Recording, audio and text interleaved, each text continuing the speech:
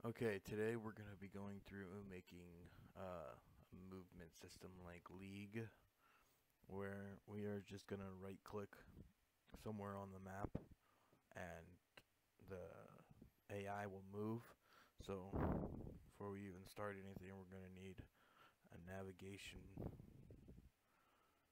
nav uh, mesh bounds. I'm gonna want to fit our area. Let's see where size. I'll scale it manually.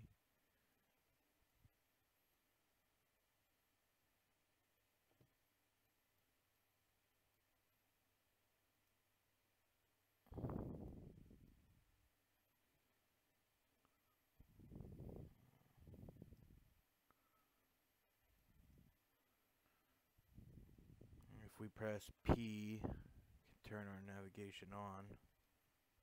See it. Oh, I should probably scale that just a tad bit bigger. Okay. So we're gonna need to start. We're gonna need a AI controller.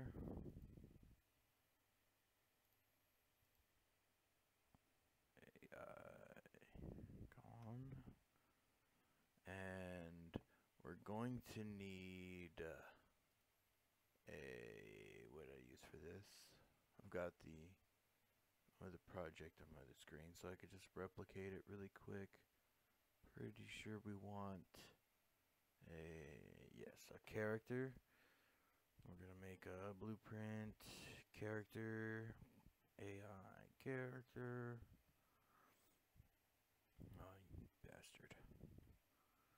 AI character.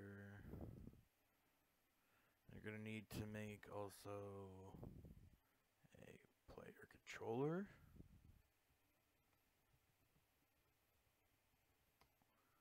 And a player pawn.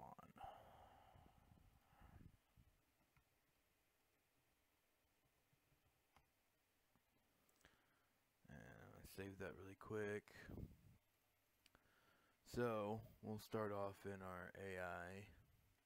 Before we do that, we're going to create a behavior tree. Let's call it move to. And that should that's all we're going to need for now. Let's go into master con.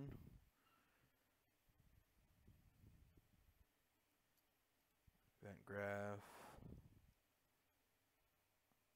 and on begin play.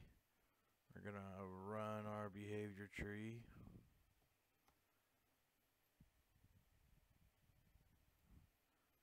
Move to.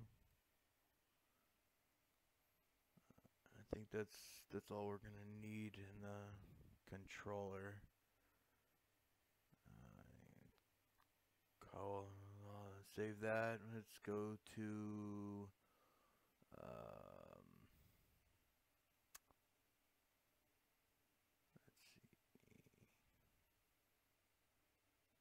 let's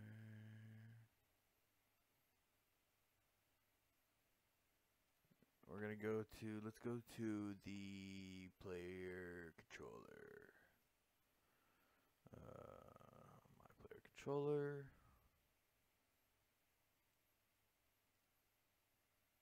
Uh,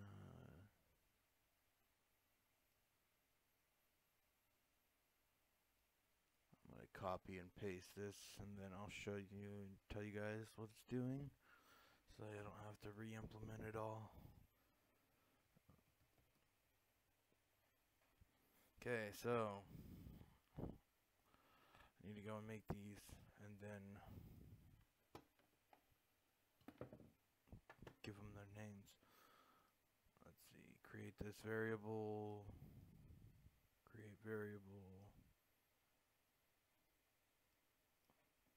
Okay.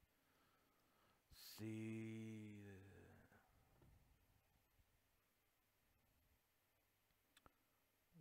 go into our input and add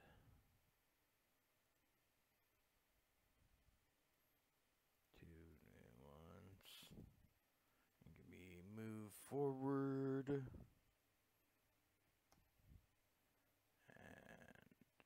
move right. We're going to want two buttons on both of them. We're going to have W forward, S, to go back. Set S for negative 1 scale. Then move right. We can do D and A. Put A on our negative 1 scale. Okay, we got that. So we get the controller rotation of our current rotation. We get our forward vector and our right vector. We multiply that by our axis values and plus those together. We then multiply that by our movement rate, which I got to compile to be able to give it a number. So with no number, we can't move. With an axis rate, the way axes works is they're always continuous. So like if I were to say move right and I made this and I connected it to the location on the local offset without this math that means the person would just continuously move because no matter what this axis value always has a value so well this not that it always has a value but this always runs our stored pawn is going to be an object. It's just the pawn that we're going to be getting to. These are airing because we got to go over to the pawn and make that. Um, let's go do that really quick. Come over and open up player pawn. Open this up and go to the event graph. Begin play. Once again, uh, if you hold P and left click, that brings up the begin play. We need to create a variable for. I just thought about. I don't think that that can't be an object. It has to be this actual. We need to go. This needs to be the controller, which it player controller. Let's play player con. I will go, we're going to make it a reference to my player controller. And we need to come back over here and then change this one to player pawn.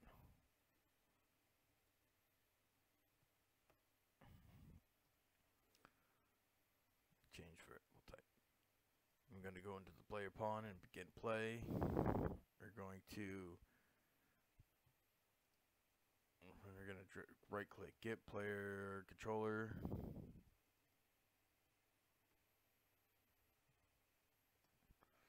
And then we're going to cast to no, not debug. Cast to my player controller. And convert that into a pure cast. Doesn't need to be in pure and then we're going to set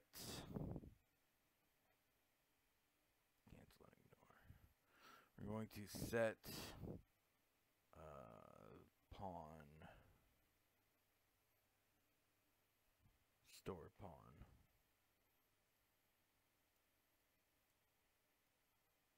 And we're going to get our self, get self, get a reference to self. And then we're going to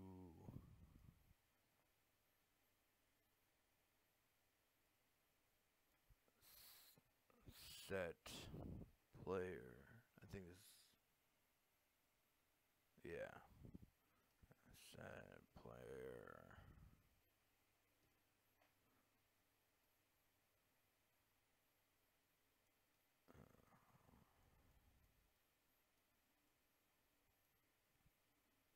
And now we'll have a reference for the player to the controller.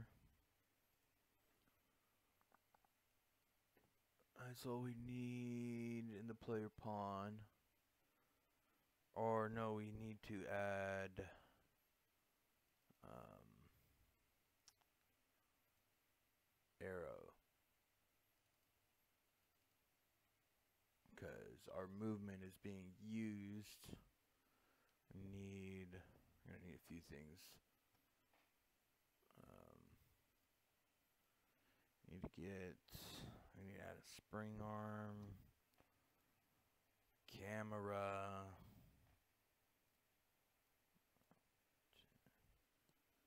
a spring arm camera, and then we also are going to need the arrow. I'm going to call this controller arrow because that is what it is called in the other one. Why is this there?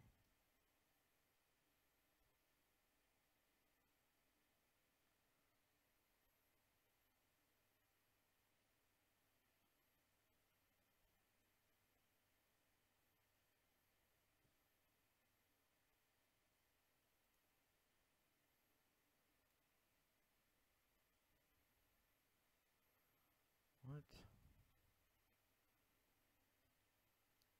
Did not. Oh yeah. Okay, the variable wasn't safe, so now it's working. Okay. Sorry. We need to. Now this will be for our stored pawn. Like that, get controller arrow. Set the world rotation.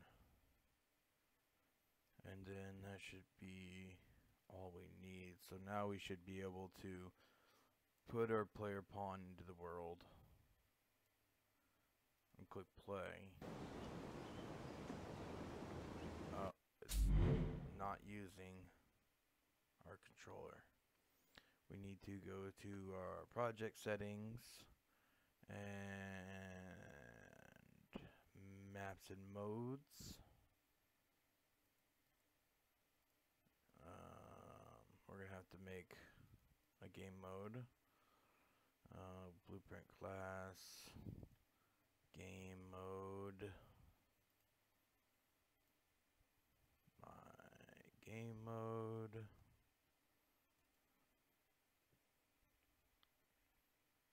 Uh, default pawn class would be player pawn. We need our player controller would be my player controller. And that's good. Close that. Go back into our project settings and select my game mode.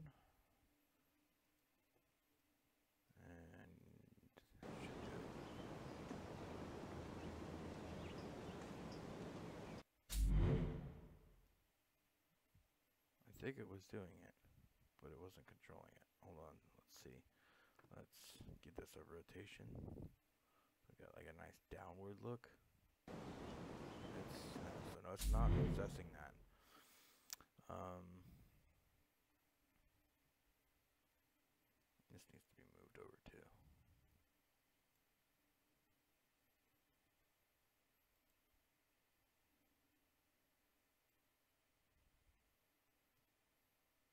Um, why is it not wanting to possess the controller? Let's